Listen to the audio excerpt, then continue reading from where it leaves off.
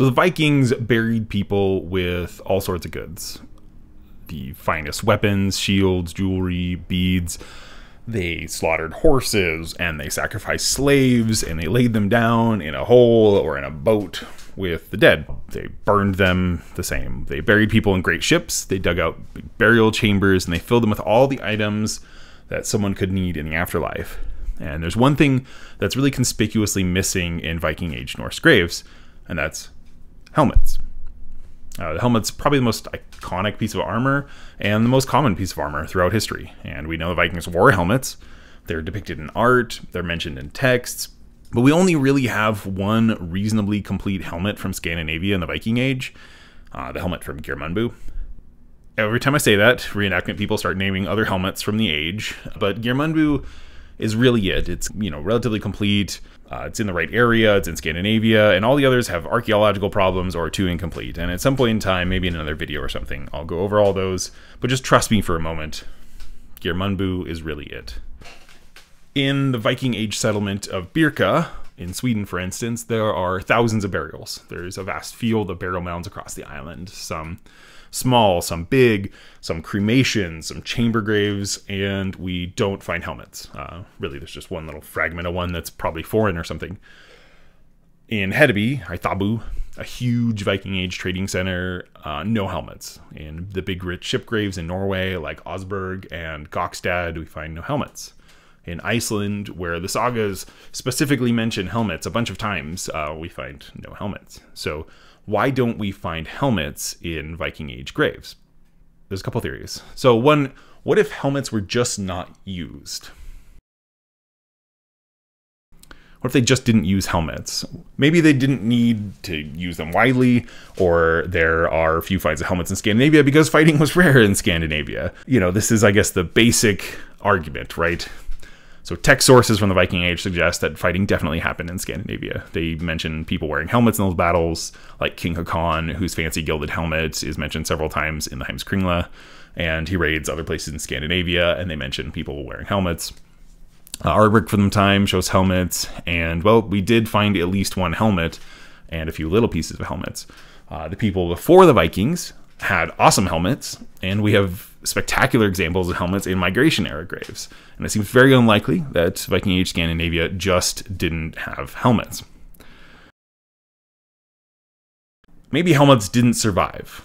It's a common reason that we don't find a lot of things.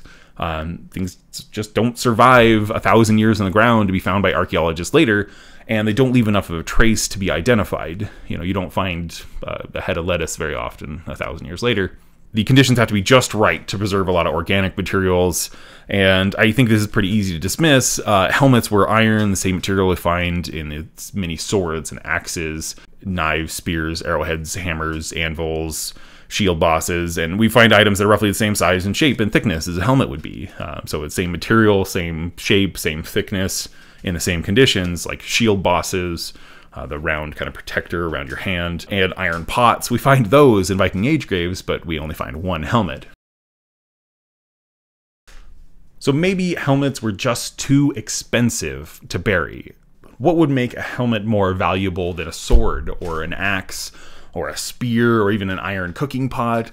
If they're made from the same iron, I've done enough metalworking to know that it really isn't more difficult to make a helmet than it would be to make a sword. The Vikings buried people with items that were surely more valuable than a simple helmet. Uh, jewelry, entire boats, living things, horses, all their equipment, silver. It can't just be about the value of the item because they're very fancy decorated items that would have been very difficult to make and very expensive that were buried what if people just didn't need helmets after death? What if those going to Valhalla or wherever else they're going in the afterlife just don't need to protect their noggin? One thing that feels odd about thinking that helmets were not necessarily in the afterlife is that shields are very common in graves. But maybe shields are considered like a different category of protective item, an active versus a passive defense, or maybe shields are considered to be as much a uh, weapon as a defensive item. It's hard to prove. I think this argument has some merit that helmets weren't needed in the afterlife, but it's difficult to support through evidence outside of the myths that were written down a century or more after the end of the Viking Age because we're talking about religion and the afterlife, topics that are really hard to show through archaeological finds. So, could a helmet be considered to belong to the inheritors of the estate? Or maybe even the property of the local lord that equipped the dead person? Certainly, when someone died, they didn't bury everything they owned with them every time and wouldn't leave the family destitute. When you find coins in graves, usually you only find a couple, or you see them modified into jewelry, not an entire hoard of straight up coins. Maybe there was a distinction between personal items belonging to the deceased and sort of commonly owned items belonging to the family uh, or the heirs. A helmet might have been one of those items, maybe something that belonged to the family, not to the person, whereas the sword that they buried belonged to that person. The last time I brought this question up in public, somebody suggested that maybe Norsemen thought that wearing a helmet was somehow not something to be proud of. Uh, like how children don't want to wear a helmet when they're riding a bike or skateboarding. Uh, there's no great argument for or against this theory that I can formulate, except that the texts make it seem quite common to wear a helmet, and great warriors are said to have worn helmets. Even images that depict the gods they, they seem to wear helmets, and they're all supposed to be brave warriors, so I don't think helmets were seen as something unmanly or cowardly. So who cares? Why would we even discuss the issue of why there aren't many helmets in Viking Age Norse graves? Uh, the answer to that is that it provides context for everything else that we find in Norse graves. Uh, the living people that put those items in those graves made decisions about what to include and what to exclude. Uh, if helmets or other objects were specifically excluded from graves every time they buried people except once, that was a choice guided by something in their culture, whether it was frugality or tradition or religion or whatever. I don't know. It's a little window into a common idea and practice shared by these thousands of people spread across an enormous geographical area and furthermore, the ancestors of the Vikings, they did bury their dead with helmets. So there were these beautiful helmets buried in giant grave mounds around Uppsala in the 6th to 8th centuries, um, about 50 miles north and a century or two away from the height of activity at Birka. And I always see these points of change as notable. They can indicate something important, like a cultural or religious attitude shift, or the presence of foreign influences. By the way, pretty much everything I've talked about here applies to body armor as well. We know they had it and they used it. We find some pieces of mail and lamellar armor around.